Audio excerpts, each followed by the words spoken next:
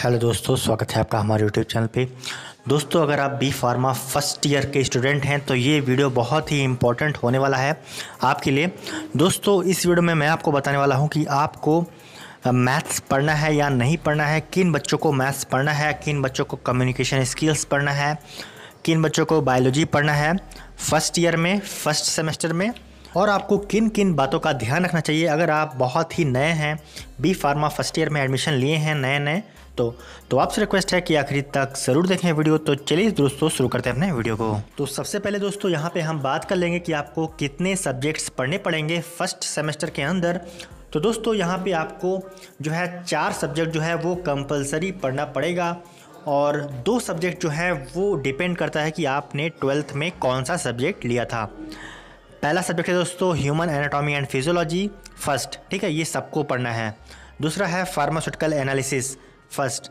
ये आपको सारे जन को पढ़ना है, ठीक है? तीसरा सब्जेक्ट है दोस्तों फार्मास्यूटिकल इनऑर्गेनिक केमिस्ट्री ये सारे जन को पढ़ना है। चौथा सब्जेक्ट है दोस्तों, आपका फार्मास्यूटिक्स ठीक है? ये सारे जन को पढ़ना है।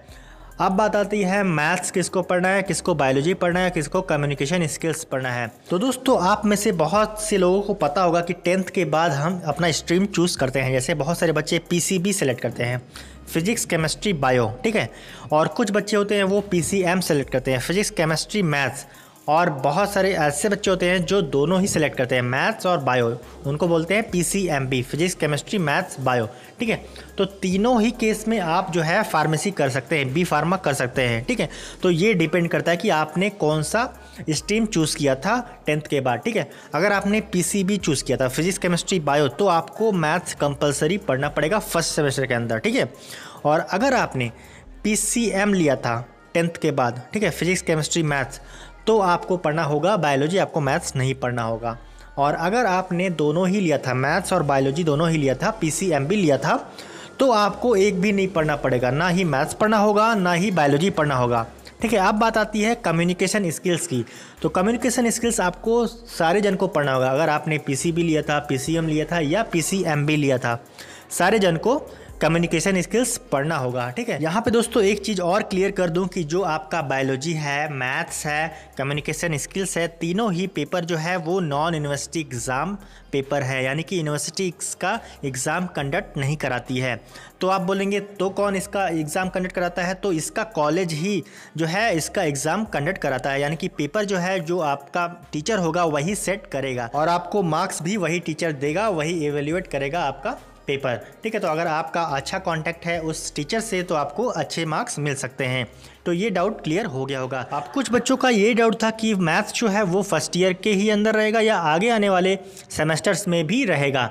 तो दोस्तों, मैं आपको बता दूँ कि जो पर्टिकुलर सब्जेक्ट है मैथ्स का, वो फ़र्स्ट सेमेस्टर में ही रहता है। इसके अलावा दोस्तों थर्ड सेमेस्टर यानी कि सेकेंड ईयर में जब आप जाएँगे तो एक सब्जेक्ट है फार्मास्यूटिकल इंजीनियरिंग ठीक है, उसमें हल्का फुल्का मैथ्स रहेगा फिजिक्स कह सकते हैं, ठीक है, लेकिन उतना हाई लेवल का नहीं रहेगा, ठीक है।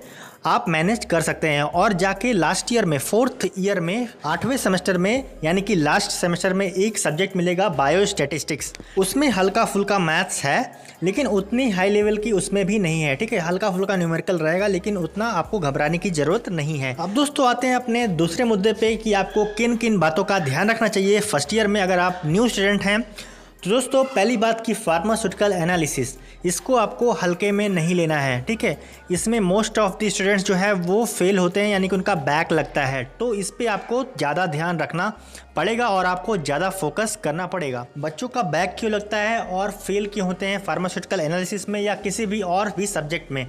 क्योंकि वो सोचते हैं कि हम एक हफ़्ता पहले स्टार्ट करेंगे वन वीक पहले स्टार्ट करेंगे और कवर अप कर लेंगे सारा सिलेबस लेकिन कुछ सब्जेक्ट्स तो आप पास कर लेंगे, जैसे एचएपी हो गया ह्यूमन एनाटॉमी एंड फिजियोलॉजी लेकिन कुछ सब्जेक्ट्स ऐसे होते हैं कि आप एक हफ़्ते पहले या एक दिन पहले नहीं पढ़ सकते हैं पूरा सिलेबस या आपको कुछ समझ में नहीं आएगा, ठीक है? तो आपको डे वन से आपको मेहनत करना पड़ेगा दोस्तों और आपको एटलीस्ट दो घंटे आपको स्टडी के लिए देना पड़ेगा। जैसे फार्मास्यूटिकल एनालिसिस हो गया फार्मास्यूटिकल इनऑर्गेनिक केमिस्ट्री हो गया, इन दो सब्जेक्ट्स पे आपको थोड़ा सा एक्स्ट्रा मेहनत करना होगा, लेकिन एज इट इज़ बहुत ज़्यादा टफ नहीं है। आप अगर मेहनत करते हैं तो आराम से आप क्लियर कर जाएँगे दोस्तों। तीसरी बात कि आपको रूल्स पता होना चाहिए कि आपको ईयर बैग कब लगेगा।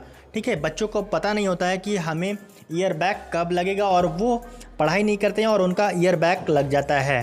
तो आपको यहाँ पे मैं संक्षिप्त में यानी कि ब्रीफ में बता देता हूँ कि आपको ईयर बैक कब लग सकता है, ठीक है? तो दोस्तों, फ़र्स्ट ईयर के सब्जेक्ट्स यानी कि फ़र्स्ट सेमेस्टर और सेकेंड सेमेस्टर के सारे सब्जेक्ट्स अगर आपके क्लियर नहीं होते हैं फोर्थ सेमेस्टर तक यानी कि सेकेंड ईयर तक तो आपको थर्ड ईयर में नहीं जाने दिया जाएगा। आपको एक साल घर पे बैठना पड़ेगा। समझ में आया? और दूसरी बात कि अगर आपके सेकेंड ईयर के सब्जेक्ट्स यानी कि थर्ड सेमेस्टर और फोर्थ सेमेस्टर के सब्जेक्ट्स क्लियर नहीं होते हैं सिक्स सेमेस्टर तक, यानी कि थर्ड ईयर तक। तो आपको फोर्थ ईयर में नहीं जाने दिया जाएगा, आपको एक साल का ईयर बैक लग जाएगा। ये दोस्तों पीसीआई का रूल है। इस पर मैंने एक डिटेल वीडियो बना रखा है, आपको डिस्क्रिप्शन बॉक्स में इसका लिंक मिल जाएगा। आपको डिटेल्स में जानकारी मिल जाएगी पास फेल सिस्टम क्या होता है बी फार्मा के अंदर। तो बस दोस्तों, आज की इस वीडियो में इतना ही। अगर आपके मन में कुछ भी डाउट्स है, कुछ भी सवाल है तो मुझे कमेंट करके ज़रूर पूछिए। मैं पूरी कोशिश करूँगा आपके सवाल का आंसर देने के लिए। और दोस्तों, ऐसे ही इन्फॉर्मेशनल वीडियोस पाने के लिए इस चैनल को सब्सक्राइब ज़रूर कर दें। बहुत बहुत धन्यवाद।